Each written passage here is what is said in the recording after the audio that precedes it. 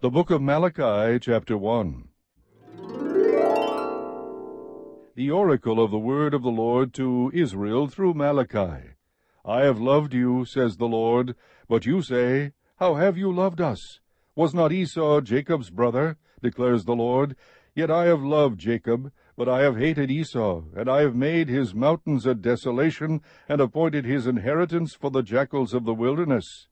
Though Edom says, We have been beaten down, but we will return and build up the ruins, thus says the Lord of hosts, They may build, but I will tear down, and men will call them the wicked territory, and the people toward whom the Lord is indignant forever. Your eyes will see this, and you will say, The Lord be magnified beyond the border of Israel. A son honors his father, and a servant his master. Then if I am a father, where is my honor? And if I am a master, where is my respect? says the Lord of hosts to you, O priests who despise my name. But you say, How have we despised your name? You are presenting defiled food upon my altar. But you say, How have we defiled you? in that you say, The table of the Lord is to be despised. But when you present the blind for sacrifice, is it not evil? And when you present the lame and sick, is it not evil? Why not offer it to your governor? Would he be pleased with you, or would he receive you kindly, says the Lord of hosts? But now will you not entreat God's favor, that he may be gracious to us? With such an offering on your part, will he receive any of you kindly, says the Lord of hosts? Oh, that there were among you who would shut the gates, that you might not uselessly kindle fire on my altar. I am not pleased with you, says the Lord of hosts, nor will I accept an offering from you. For from the rising of the sun even to its setting, my name will be great among the nations, and in every place incense is going to be offered to my name, and a grain offering that is pure. For my name will be great among the nations, says the Lord of hosts. But you are profaning it, in that you say, The table of the Lord is defiled, and as for its fruit, its food is to be despised. You also say, My, how tiresome it is! And you disdainfully sniff at it, says the Lord of hosts. And you bring what was taken by robbery, and what is lame or sick, so you bring the offering. Should I receive that from your hand, says the Lord? But cursed be the swindler who has a male in his flock, and vows it, but sacrifices a blemished animal to the Lord. For I am a great king, says the Lord of hosts, and my name is feared among the nations.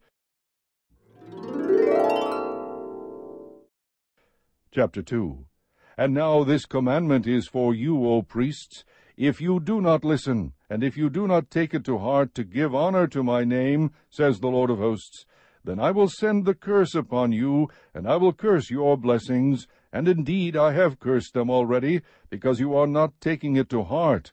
Behold, I am going to rebuke your offspring, and I will spread refuse on your faces, the refuse of your feasts, and you will be taken away with it. Then you will know that I have sent this commandment to you, that my covenant may continue with Levi, says the Lord of hosts. My covenant with him was one of life and peace, and I gave them to him as an object of reverence. So he revered me, and stood in awe of my name.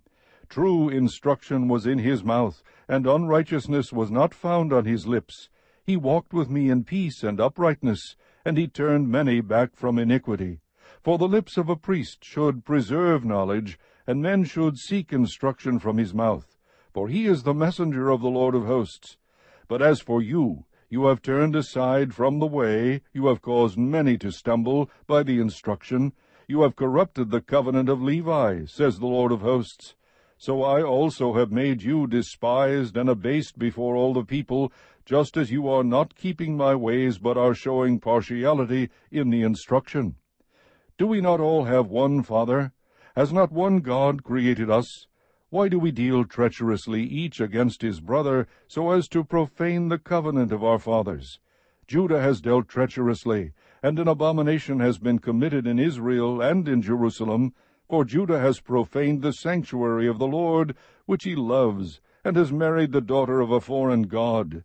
As for the man who does this, may the Lord cut off from the tents of Jacob every one who awakes and answers, or who presents an offering to the Lord of hosts. This is another thing you do. You cover the altar of the Lord with tears, with weeping and with groaning, because he no longer regards the offering or accepts it with favor from your hand. Yet you say, For what reason? Because the Lord has been a witness between you and the wife of your youth, against whom you have dealt treacherously, though she is your companion and your wife by covenant. But not one has done so who has a remnant of the Spirit.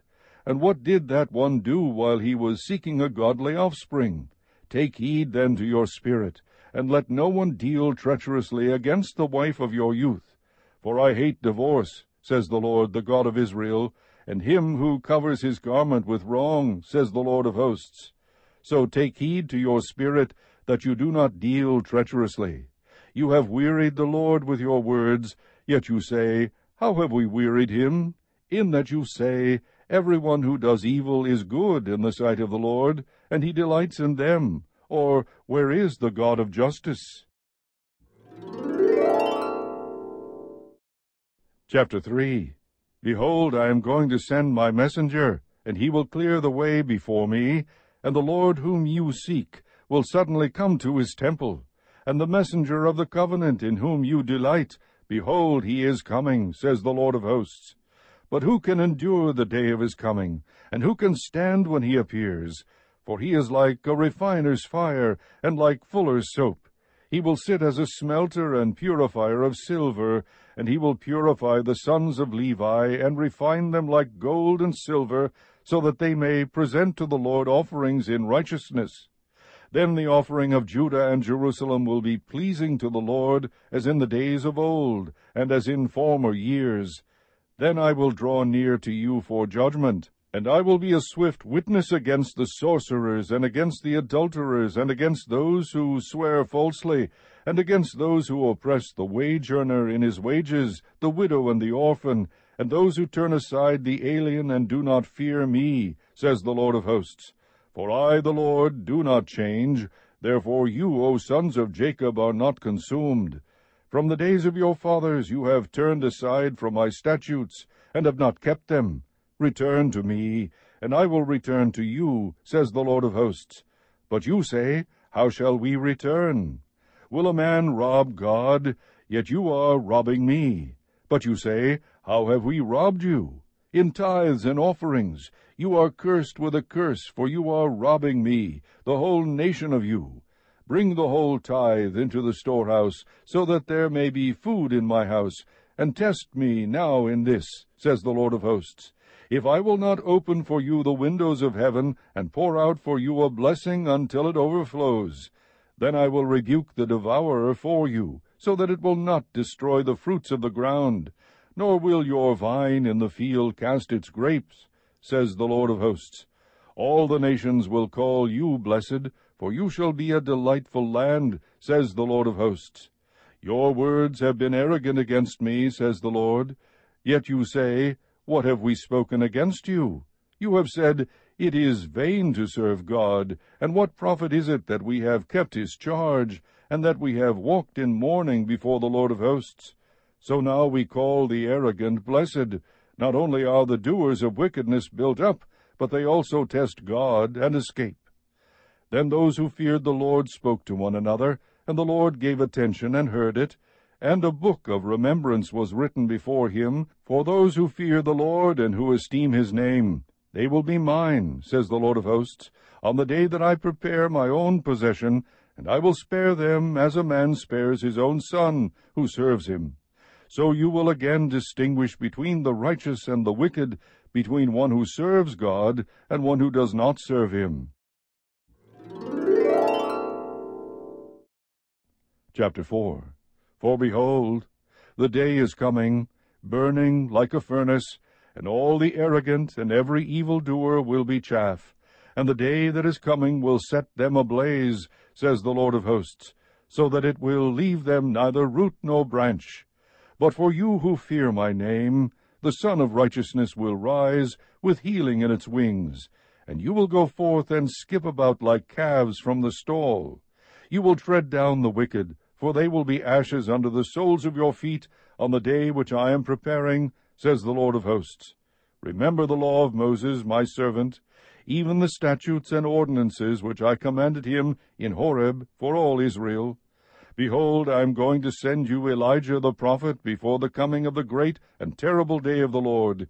He will restore the hearts of the fathers to their children, and the hearts of the children to their fathers, so that I will not come and smite the land with a curse.